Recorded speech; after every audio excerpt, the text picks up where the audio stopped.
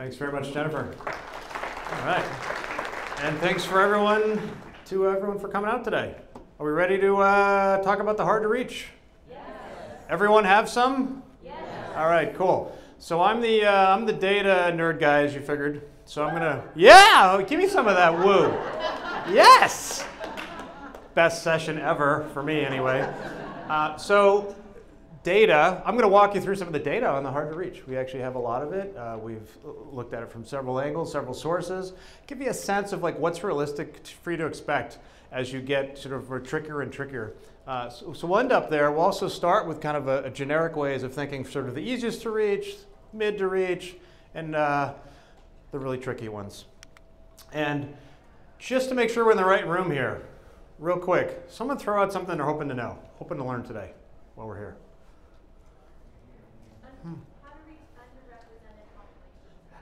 Okay, how to reach underrepresented populations in your community. Perfect. You're in the right place. Yes? How to reach foreign born. Ooh, yeah, there's a theme. Anyone else? Yes? How to reach um, older citizens who may not be on the internet. How to reach older citizens who may not be on the internet. We have a little quiz question on that. It's kind of interesting. It might surprise you. Yes, one in the back. Really similar. How to reach disconnected people. How to reach disconnected people. Okay, cool. Yeah, this is, yes? How to reach really young people who don't care about Oh, ooh, the other side of the quiz question that's coming up. Start thinking about which side you might pick on this one. All right, terrific. And yes, and one more? What makes a survey statistically valid? What makes a survey statistically valid? Okay, oh, I think we'll touch on that a little bit too. Yes? All the above, All, but being a trusted source. all the above, but be trusted. You want, how do you trust your government? This is terrific. Yeah, so after I go through all the nerdy data stuff, we're going to have some really nice uh, lessons and, and on trust and, uh, and great, great stories from Bratton too. So I'm excited for that part. If we can just get through my part, you know, be great. Yes, one more, sorry. How to use what you, what you learn effectively. How to use what you learn effectively? Wrong session. but, good news, we got one tomorrow. I know. Okay, wait, are you a plant? All right, come tomorrow. Yeah, so tomorrow, uh, the Davenport Institute. Who's heard of the Davenport Institute? Anyone? Awesome. Yeah, woo! Davenport. So uh, Davenport Institute is great for engagement. That's their specialty.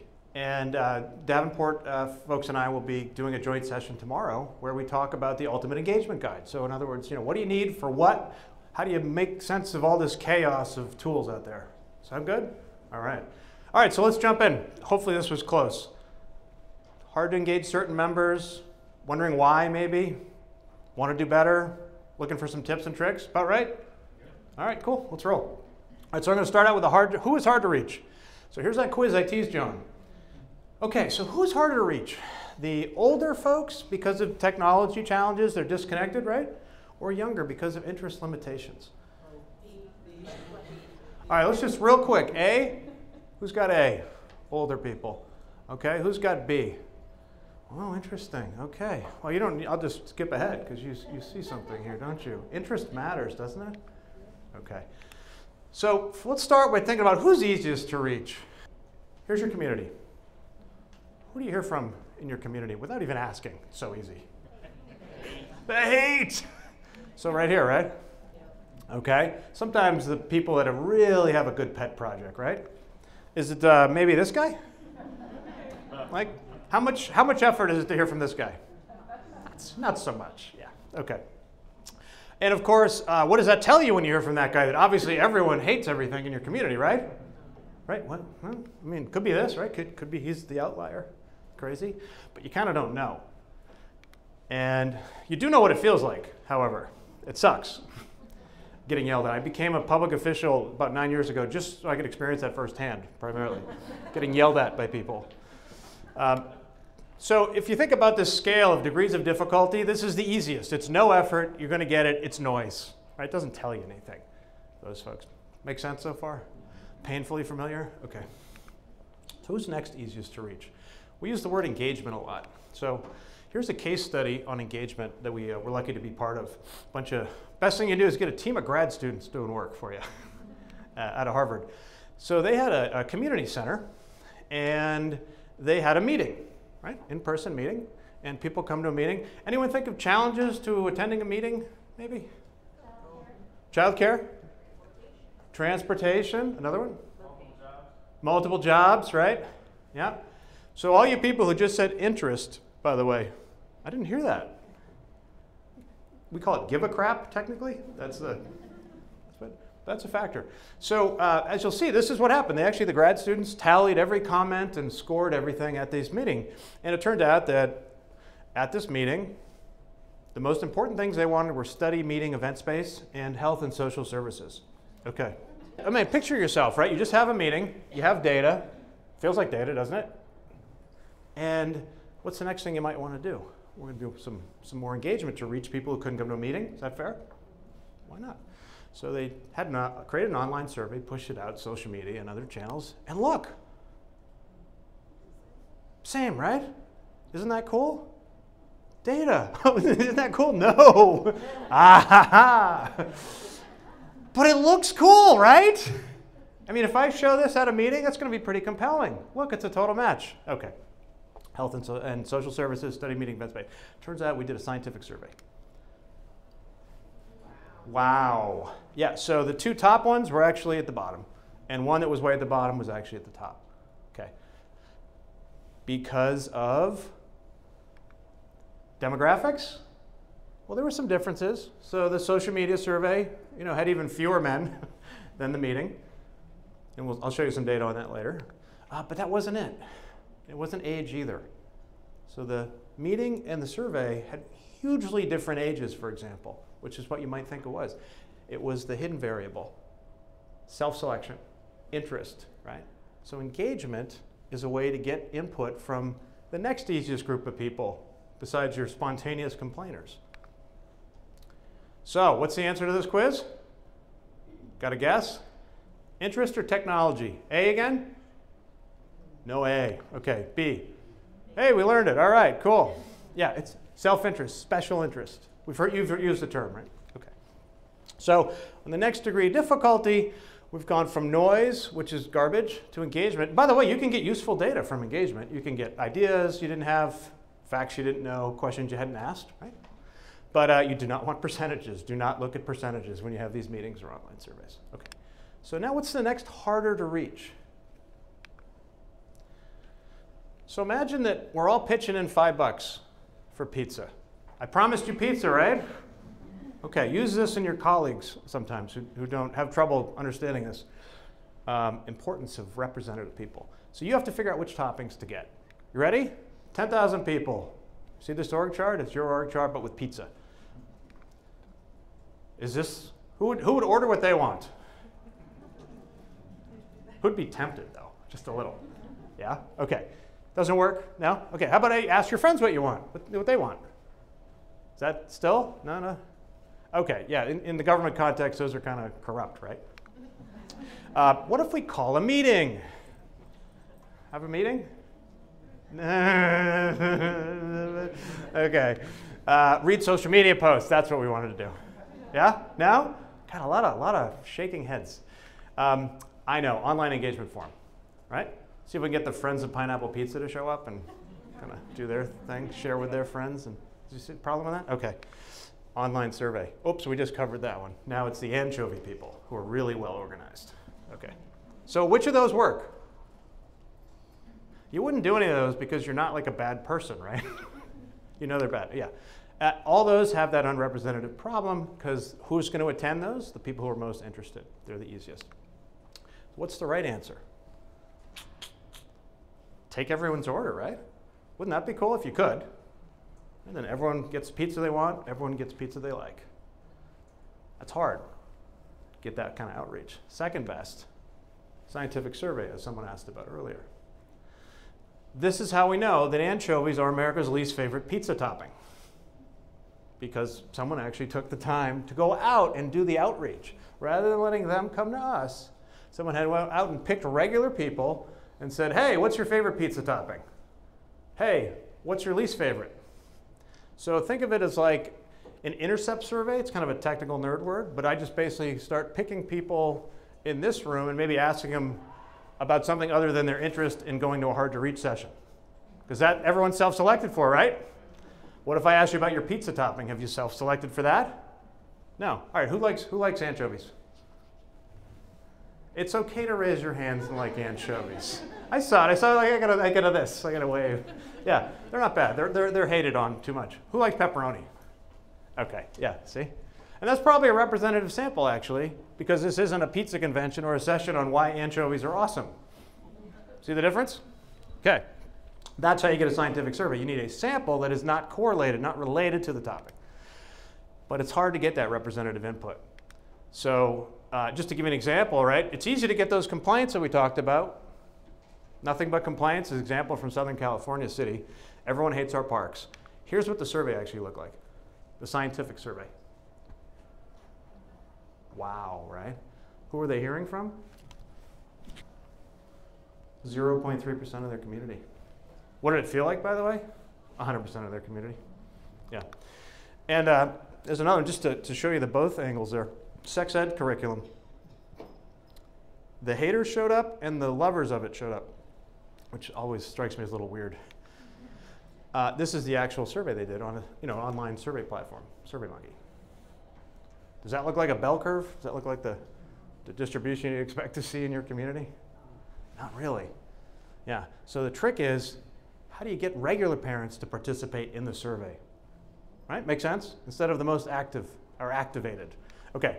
Well, we, we found out actually the service, uh, the support for this was about 90%, actually. So it was a clear go ahead, easy to go. All right, so what's the big difference now between engagement and scientific surveys? This kind of third level of difficulty. Think of engagement as input from people especially interested in a topic.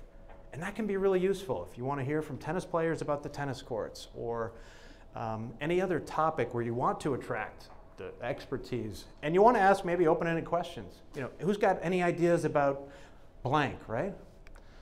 Scientific surveys, though, that's the input from people not especially interested in a topic. Regular folks who you just happen to get data from. And then you can generalize that little sample to your whole community. It's kind of magic.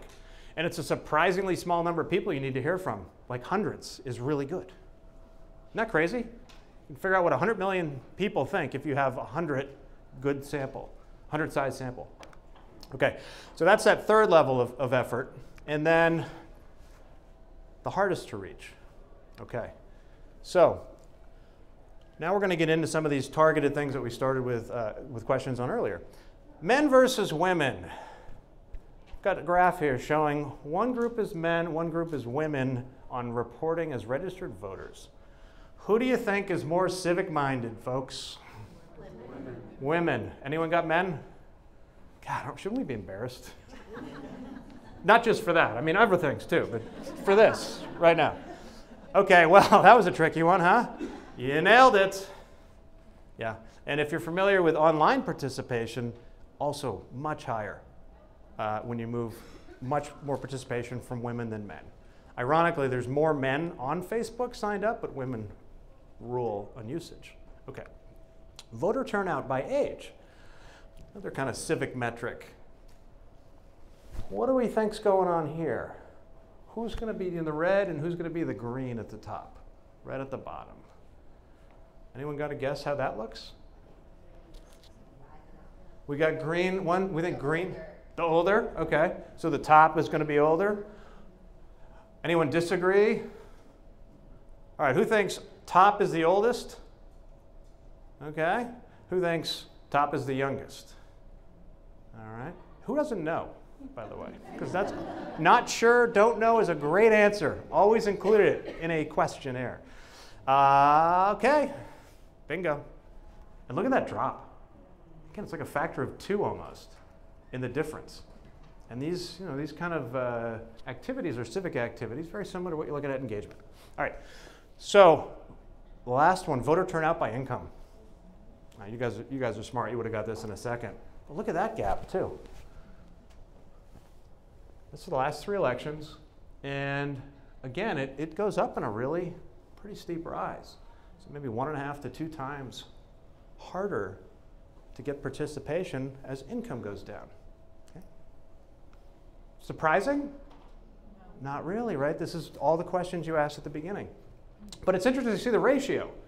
You know, so it's not 10x harder, but it is maybe twice as hard for this particular variable. Okay, uh, this is an interesting one. Now, turnout by race ethnicity.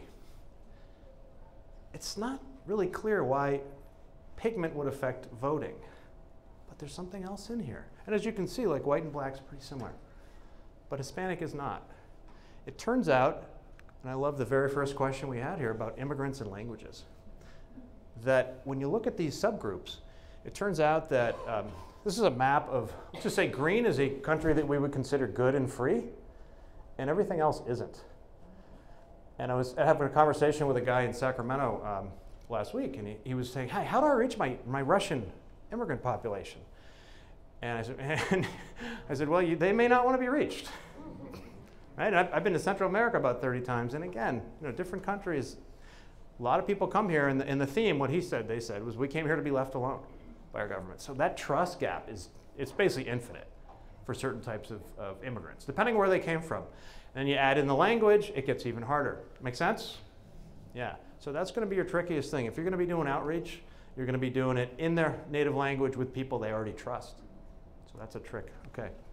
All right. So just to kind of put a bow on those numbers, men versus women, 1.1 to 1.5 times harder to get men. Younger, one and a half to two times harder to get younger than older. Poorer, one and a half to two times harder, again, on a scale. And then immigrant, two times and more. I mean, really, it can be pretty much infinite, depending on what you're talking about. Uh, this is the one you want to take a photo of if you were interested in the, those numbers. And the real takeaway here is that if you multiply those things together, you can easily get to 10x harder. So you might have to do 10 times as many postcards, 10 times as many emails, 10 times as many door knocks as what you consider kind of your normal to reach. Okay. Does that make sense? Like a math? Yeah, I was told there'd be no math, right? Almost. Okay. Um, so that's the data there. That's the hardest. That's where you need to do that targeted outreach. It's really the extra effort. And if you don't make the extra effort, you're not going to really expect to get much. If you don't do that native language outreach, uh, don't expect a whole lot of people to just sign up in another language.